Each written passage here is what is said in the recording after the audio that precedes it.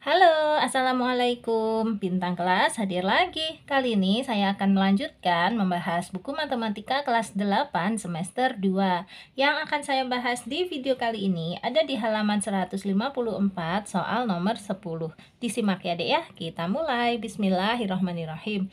Nomor 10, perhatikan 5 segi 4 T, A, B, C, D berikut. Nah, di sini ini gambar limasnya. Kalau ini namanya T, A, B, C, D Sementara yang di sini gambarnya TPQRS berarti ini abaikan aja ya. Harusnya ini adalah TPQRS kayak gitu ya. Oke segi 4 PQRS pada limas tersebut merupakan suatu persegi.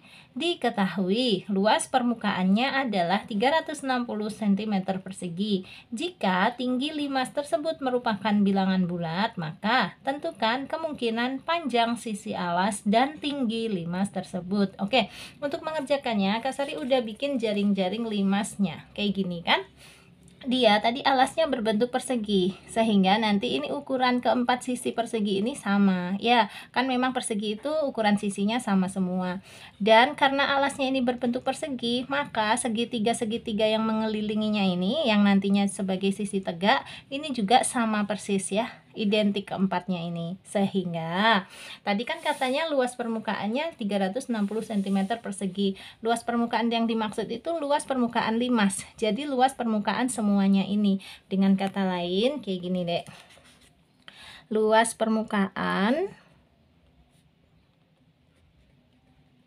sama dengan 360 cm persegi kan nah luas permukaannya itu diperoleh dari luas alas ditambah dengan luas 4 segi 3 ini harus 360 cm persegi. Nah, Kak Sari tadi udah coba-coba untuk alasnya. Di sini Kak Sari pakai ukuran 10 cm dan 10 cm ya. Nanti 10 kali 10 itu berapa? 100 ya gitu. Sini Kak Sari tulis 100 ditambah nah luas 4 segitiga. Ini kita memang belum tahu tetapi totalnya harus 360 nah jadi luas 4 segitiganya gampang carinya ya. 100 ditambah berapa? Yang hasilnya 360 tentu saja 260 Nah, kembali lagi ke gambar. Intinya, 4 buah segitiga ini kalau dijumlah luasnya adalah 260. Berarti satu buah segitiga aja luasnya berapa? Kita hitung ya. Luas satu segitiga sama dengan ya 260 dibagi berapa? 4 ya. Jadi 65 cm persegi. Ini luas satu buah segitiga.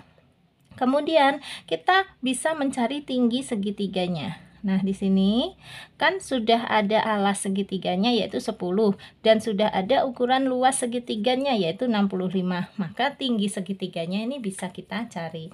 Caranya di sini luas segitiga sama dengan 65 cm persegi. Kemudian kita masukkan rumus luas segitiga yaitu setengah kali alasnya kali tingginya sama dengan 65 cm persegi.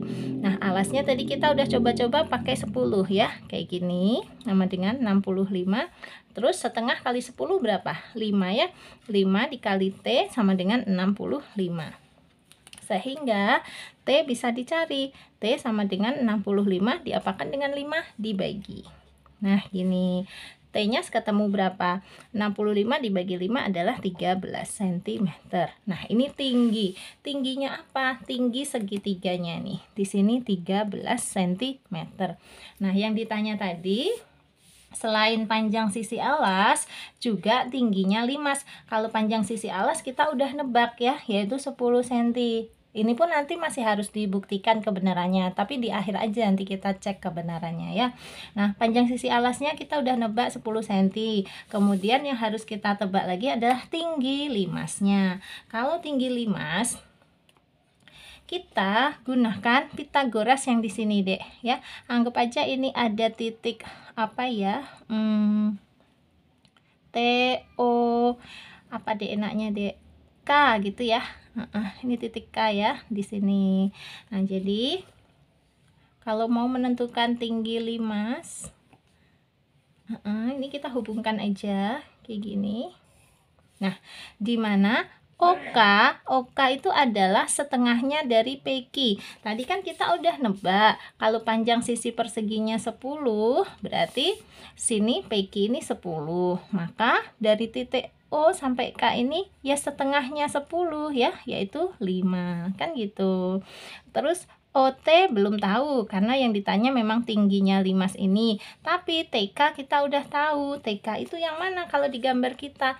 TK adalah tingginya segitiga ini, Dek. Yaitu 13. Nah, gini. Maka TO bisa dicari, ya.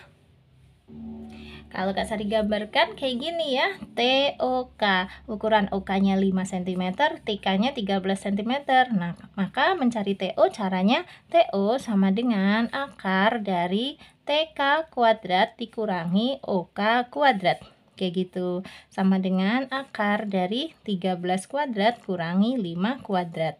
Sama dengan akar dari 169 kurangi 25 hasilnya adalah akar dari 144 akar 144 adalah 12 satuannya cm tuh udah ketemu. Jadi TO nya 12 cm dan tadi memang di sini jika tinggi limas tersebut merupakan bilangan bulat. Jadi tingginya harus bilangan bulat. Nah, kita ketemunya tinggi kita adalah 12 cm. Masuk ya, karena 12 ini adalah bilangan bulat.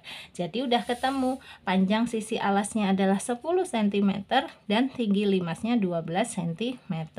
Terakhir, kita harus menguji, menguji kebenaran jawaban kita. Ini tadi kan masih tebak-tebakan ya. Nah ini Kak Sari tulis barusan ya Panjang sisi alasnya 10 cm Tinggi limasnya 12 cm Sekarang kita tes ya Kita uji. Ukurannya kayak gini. Panjang sisi alasnya 10 Kemudian tinggi limasnya 12 Nah tinggi sisi tegaknya ini adalah 13 ya. Apakah benar nanti hasilnya? Luas permukaannya adalah 360 Itu harus kita buktikan. Caranya ayo kita hitung. Luas permukaan limas rumusnya adalah luas alas ditambah dengan luas 4 sisi tegak atau dalam hal ini segitiga. Nah, sama dengan luas alas. Kalau dia ukurannya 10 cm, berarti sini juga 10 cm ya, karena ini tadi kan alasnya berbentuk persegi. Berarti 10 kali 10 ditambah luas 4 sisi tegak. Sisi tegaknya karena dia berbentuk segitiga, berarti ya luasnya segitiga. Dengan alasnya adalah 10 dan tingginya adalah 13. Nah, karena kita maunya menghitung 4 buah, berarti kalikan 4. 4 kali rumus luas segitiga adalah setengah kali alas. Alasnya 10 kali tinggi. Tingginya 13. Tinggal dihitung aja sama dengan 100 ditambah 4 kali setengah atau 4 bagi 2 ya hasilnya 2 2 kali 10 20 20 kali 13 260 Oke, sama dengan 100 ditambah 260 itu pas banget 360 satuannya cm persegi. Jadi terbukti ya jawaban kita benar. Sehingga kesimpulannya maka panjang sisi alasnya adalah 10 cm dan tinggi limasnya adalah berapa tadi dek? 12 cm ini dia jawabannya yes ketemu ya ini caranya Kak Sari ya mudah-mudahan kalian tambah paham Dah, sekarang Kak Sari mau pamit dulu ya. Nanti untuk soal-soal nomor yang lain akan Kak Sari buatkan di video yang lain. Insya Allah. Sebelum pamit, kalau kamu suka dengan video ini, silahkan di like, di komen, di share ke teman-teman yang juga membutuhkan. Dan yang belum subscribe, boleh subscribe. Untuk yang mau gabung di grup, masih boleh. Silahkan chat di 081 456 10 9870 Kak Sari tunggu. Terima kasih banyak. Assalamualaikum warahmatullahi wabarakatuh